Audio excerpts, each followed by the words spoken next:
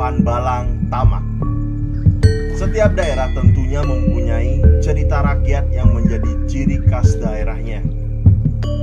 Cerita yang menghibur dan juga memiliki pesan moral yang dapat dipetik di akhir setiap cerita. Kata Panbalang Tamak berarti pan yang berarti bape,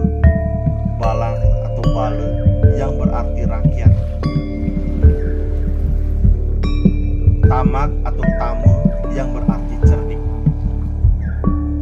Pan Balang Tamak dapat diartikan sebagai sosok orang tua panutan yang kecerdikannya melebihi orang-orang di sekitarnya. Singkatan Pan Balang Tamak dapat diartikan sebagai ayahnya sumber kecerdikan tindakan yang dilakukan Pan Balang Tamak tidak bisa disalahkan begitu saja.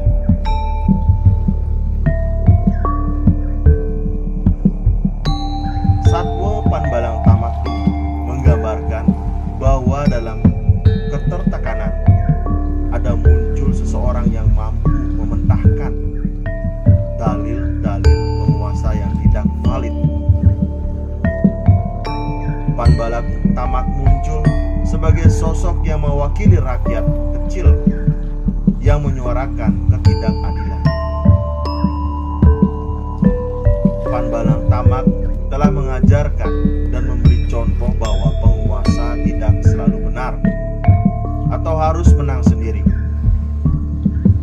Kritik terutama yang konstruktif harus menempatkan sebagai sesuatu yang menyehatkan bukan meracuni. Sadar bahwa sebagai manusia kita mempunyai kekurangan dan tentu saja juga mempunyai.